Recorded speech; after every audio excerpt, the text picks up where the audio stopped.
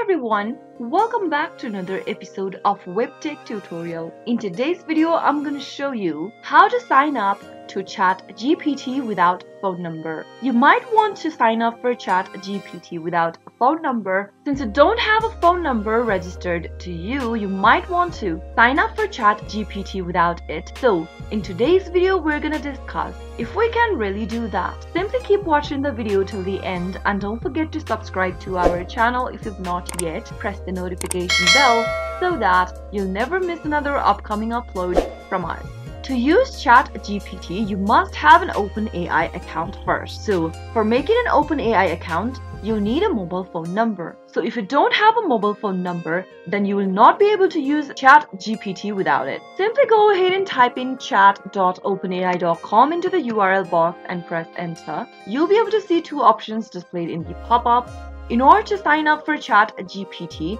click on the sign up button. Now it'll tell you to create your account. You'll need to create an account for OpenAI first in order to use ChatGPT.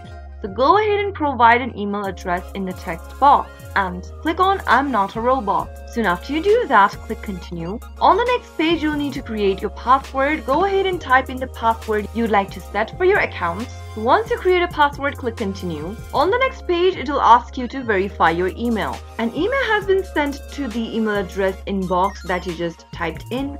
Go and open up your inbox. Once you enter to your inbox, you'll be able to see an email received from OpenAI. Give it a click in order to verify your email. Click on the verify email address and then you'll be asked to enter the rest of the information for yourself. Type in your first name in the first text box and then your last name on the next and click continue. It'll then ask you for your phone number. As you can see that there is no way you'll be able to create a new account for Chat GPT without a phone number since it'll ask you to verify your phone number.